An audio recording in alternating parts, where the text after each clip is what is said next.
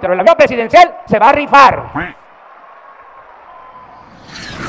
Se le averió su avión al primer ministro de Canadá, a Trudeau, y le mandamos a decir que si quería comprar el avión presidencial de México, y no le entró porque el avión que se le averió es de menor calidad y no tiene tantos lujos como el avión presidencial de México. Por eso, como nos ha costado un poco venderlo, deshacernos de ese avión, se va a rifar a todo el pueblo. Y no se preocupen que si a dónde lo van a estacionar el que se lo saque, ahí va a estar los aeropuertos de la Fuerza Aérea Mexicana para guardar el avión, para que lo obtenga mediante la rifa. Ya vamos a resolver ese problema.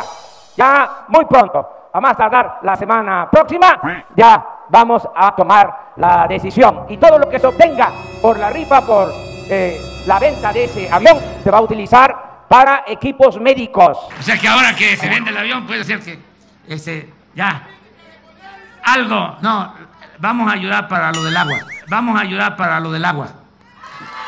Zapatipa. Preocupados, interesados en saber de dónde va a salir el presupuesto.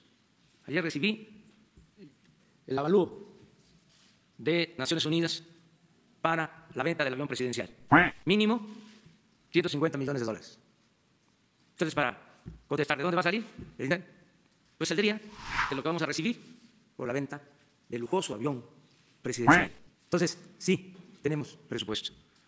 Pero si se tratara de hablar nada más de lo material. De modo que ahí está la convocatoria. Y aprovechamos para utilizar ese dinero en beneficio de nuestro pueblo.